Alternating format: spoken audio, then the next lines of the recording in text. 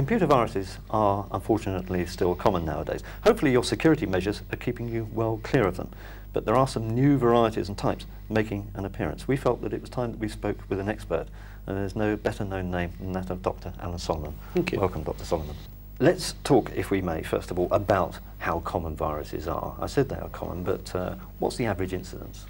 Well, IBM have done some figures which uh, indicate that if you've got, say, a thousand computers, then you'll see uh, four incidents per year. Now, an incident can be anything from a single floppy disk with a virus on, which is dealt with just like that, up to several computers infected with you're not sure how many, you're not sure what the virus has done, you're not sure how long it's been there, and it can be quite a, a big hassle to get rid of it. Right. Okay. There are some new terms that I'm hearing that I genuinely don't understand, like stealth viruses, polymorphic viruses. Could you explain what these are and what they are doing? Yeah. Um, well, first of all, stealth viruses. With a stealth virus, if the virus is memory resident, then it aims to conceal it, its presence on the disk from you. So any attempt to look at the virus gets diverted around the virus, as it were. So you, you can look straight at it and not see it. Um, that goes back a long time. The first stealth virus that uh, I ever saw was nine years old. Uh, polymorphic viruses is a little more uh, recent. The first polymorphic virus I saw was five years ago, but that's getting increasingly important. A polymorphic virus is one where the virus body is encrypted and the decryptor is variable. So if you put two instances of the virus side by side, there are no bytes in common between them, which means you can't just search for a string of bytes because there is no constant string of bytes and each instance of the virus looks differently. Right. It's hmm. actually the same virus, it's not mutating or changing, yes. it just presents a different appearance to you in each instance. So you can't search for it with a pattern then? Not a simple sequence of bytes, mm. it's got to be a lot more complicated than that. Mm. Um, you might have to go as far as writing uh, a, a, dedicated algorithm for, for, for finding that virus, although um, that's not the that's not the way that I would go about it. Right. So how does S&S International go about writing code to find stealth viruses, for example? Well, the weakness of a stealth virus is that although the virus in memory is concealing the virus on the disk, the virus can't conceal itself in memory. So if you find the virus in memory, you now know that the virus is there. You then uh, have to, one way or another, clear the virus out of memory, and then you can see it on the disk. So it's actually fairly straightforward. But you do have to do that memory check. Right, okay. And polymorphic viruses, if you can't look at them and, and see them? Mm. Well, you can look at polymorphic viruses and see them, but what are you looking for? Yes, there is no exactly. fixed pattern to look yes. for. You can either write a complex algorithm for each virus, but that can be very time consuming in terms of programming development. What the approach we've taken is we decrypt the virus. Uh, we've written a thing we call the generic decryption engine. Each, each polymorphic virus is decrypted. Once you've got it decrypted, what's inside the encryption is constant. And right. now you can just search for a fixed sequence of bytes. Right. There's uh, another term that, uh, that's popped up recently, and that's macroviruses. Hmm. Um, I haven't heard of that. I think you no, it, it, it is very new. Um, it's only in the last uh, several weeks that we've actually seen macroviruses existing. We always knew of the theoretical possibility of macroviruses, but you know one kind of hopes that it isn't going to happen, at least not that this nobody year. twigs like you have, in other words. Yeah. Um, a macrovirus. Well, the, the the macrovirus that's gotten really common is called Concept, and it's a a word macrovirus. It's it works under Word six, and Word six whether it's Word 6 for Windows, for Windows 95, for Windows NT, or even for Macintosh, right. the macro still works. Right. It's a common macro language. So it really is gen genuinely a macro. Yeah, well, right. actually, it's a set of five. The concept virus is actually a set of five macros, but -hmm. yeah, it's genuinely a, a, a, macro virus. And when you actually look at the uh, the code for the the word macro virus, you see it. It's just sort of listed out there in mm. clear, mm. and it's a very simple thing to write. Hmm. So it, it moves around attached to a document or something then, presumably? Mm. Um, it turns out that well, we've always told people that data cannot get infected by a virus, and that's mm. still true. Uh, but what you might not have realised is that a document isn't just data. It's data plus potentially executable code, and that's Yes. what these macros are. Right. And the way that the concept virus works is, as soon as you click on a document, it infects your template, thereafter, because you use that template for every document, every document that you load gets infected, and it Right. spreads really fast within a company Right. because people are sharing documents all the time. Right. What does this virus actually do? Well, the uh, the payload uh, is nothing at all. There is a macro called payload, Mm-hmm. contains nothing more than a comment that says, "That's enough to prove my point." It looks like the concept virus was written by a professional programmer. Looking at the at the code, it looks like it was done by not just some kid, and it looks like it was written mostly to prove that it's possible to write macro viruses, which is a bit like me punching you on the nose just to prove that it's going to hurt. Yes. Well, you already knew that. Mm, yes, quite so. Let, let me ask you a question that I, I don't know if, if you'll be able to answer, but who writes these viruses? Have you ever met anybody, for example, that's written a virus?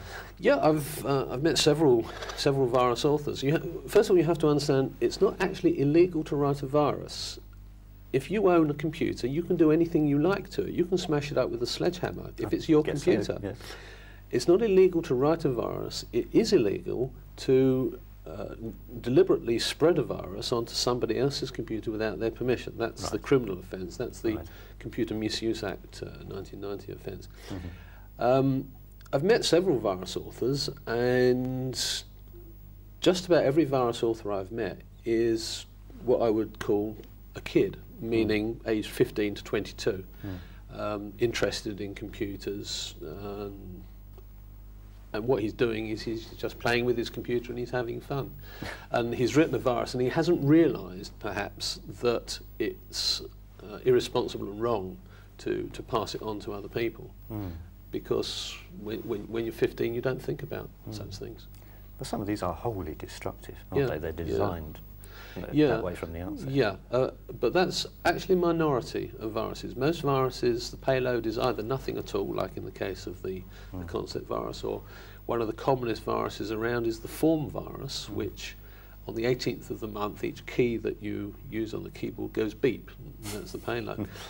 That's no great comfort, though, to an organisation that's got the form or, or the concept virus because, as far as they're concerned, they're going to get rid of it, and that is going to take time and, Right. and time's money. And so, even a virus which is aimed at doing no damage still does damage. Right.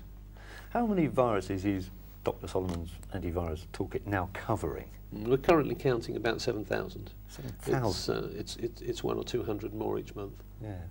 And you started off, um, you were telling me just before, we, with, with six. Six, yes, yes. The first version of the toolkit detected all of six viruses, and I remember writing in the manual, if there are any more viruses, then we'll bring out an upgrade.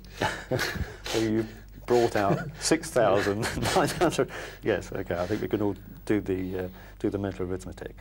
Um, is this ever going to end? Or is this going to be a never-ending story all the time we have computers? I think it's never going to end. It's a bit like expecting to grow roses without getting green fly.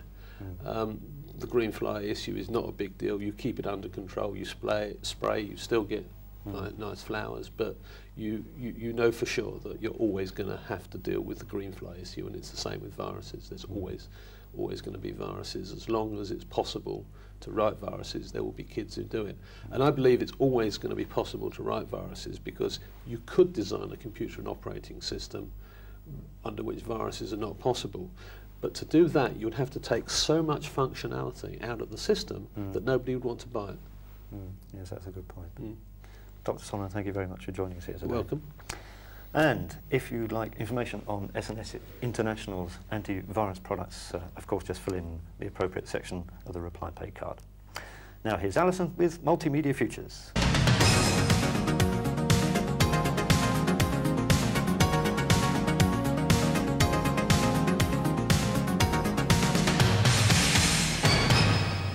The HD CD battle is over.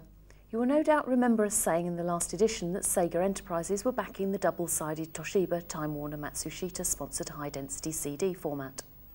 Bad move, as the Toshiba-led group have just announced that the six company in its camp have accepted the Sony Philips proposal to unify the standard. The new digital video disc standard will use Sony's signal modulation protocols and Toshiba's error correction.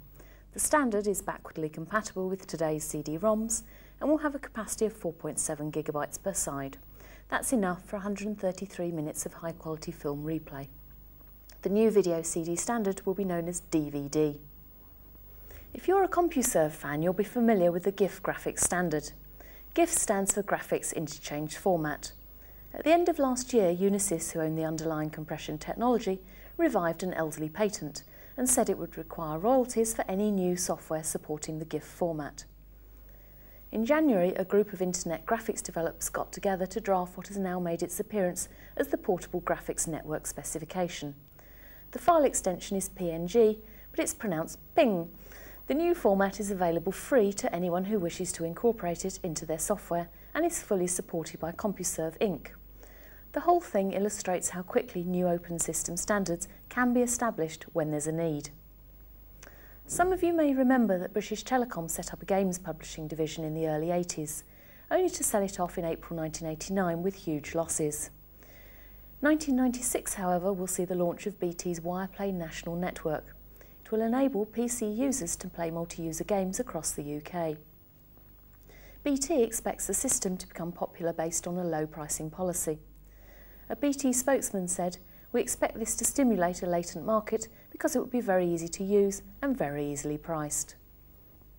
As the battle for the online services market hots up, CompuServe announced plans to give each of its 3.4 million customers up to 1 megabyte of storage to create their own World Wide Web homepage. At the same time, the company announced a couple of tools, including one called Homepage Wizard, to ease the web page construction process. The service centres beta testing about now with a general rollout to CompuServe members planned for November. Finished pages will be placed onto the web automatically using Publishing Wizard. CompuServe are even intending to supply an image scanning service to help homepage builders to get original photographs and slides into their pages. And finally, video camcorders are becoming so clever now that Canon has developed one that it claims can be controlled by eye movements alone. Called the Movie Boy E2, the camcorder has just become available in Japan at $2,000. Focusing, switching on the record function and other operations can all be controlled through eye movements. Canon says that it will start by producing 10,000 a month. And that's APT's Multimedia Futures for October 1995. Multimedia Futures is available via the internet. Email info at apt.globalnews.com. Please mention video interface in your inquiry.